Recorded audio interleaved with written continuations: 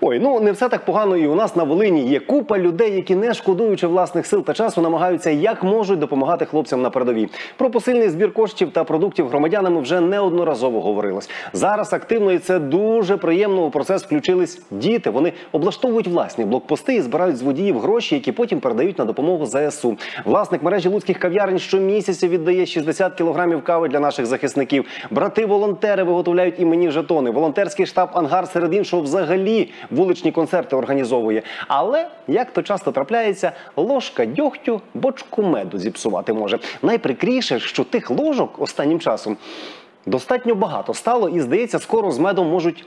Так би мовити, на паритетні засади вийти. Був у нас і командир, який примудрився своїй же сільраді благодійні плитоноски втюхати більше як за чверть мільйона, і про посадовців нечистоплотних згадував. Одні до мутних схем з гумдопомогою причетні, інші відкрито допомогу ЗСУ саботують. Сьогодні ж про благодійний фонд Добра справа, який прокуратура підозрює як мінімум у невідповідності назви. Коротко і по факту у Луцьку оперативники управління стратегічних розслідувань викрили керівницю відділу забезпечення ЗСУ благодійного фонду Ольгу Косован під час реалізації товару на майже 600 тисяч гривень. За цю суму жінка намагалася продати бронежилети, комплекти бронеплит, військові берці та розвантажувальні жилети. Під час обшуків правоохоронці вилучили понад 650 тисяч гривень, комп'ютерну техніку, чорнові записи та інші документи щодо придбання товарів військового вжитку та купу амуніції. Спочатку керівництво фонду відмовчувалось. Згодом обрали іншу стратегію, покликали журналістів, провели екскурсію по складах та влаштували прес-конференцію. Щось там розповідали про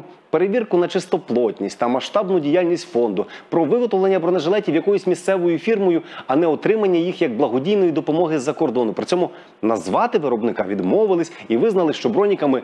Торгували, але не благодійними. Коротше, наплели сім мішків гречаної вовни і, здається, самі не до кінця розуміли, що місцями мололи. В кінці ж резюмували, що, мовляв, чорна пляма, репутаційні втрати, те, се, е, що сподіваються на чесне та неупереджене розслідування. Ой, а як ми то сподіваємось, направду, бо тут є кілька важливих моментів. От перше, що мене цікавить, якщо все чесно та прозоро, то що за військова таємниця з підприємцями, які вкладали гроші і нібито виготовляли бронежилети? Чому називали благодійним передаванням на фронт? Те, що насправді продавали, і взагалі кріпко каламутна історія, яка після так званого пояснення від представників фонду аж ніяк прозорішою не стала. Тому потрібне справді чесне, незаангажоване розслідування. Бо якщо у роботі фонду ніяких порушень, то має стати сигналом для всіх інших волонтерів. Працюєте чесно і без підкилимних ігор. Бог у поміч. Якщо ж виявиться, що під прикриттям благодійності і волонтерства хтось влаштував масштабний бізнес-проєкт, то ще більшою наукою для хитро зроблених псевдоволонтерів стати має. Тобто справу по-любому до кінця довести треба, а не на гальмах, як деякі інші, спустити. Суб'єктивне враження займався фонд і доброю справою, і бізнесок по-тихому підмучував. Тому, може, й не обґрунтовано, але мені особисто чогось від тої доброї справи матюкатись хочеться. Чекаємо результатів розслідування і правильної.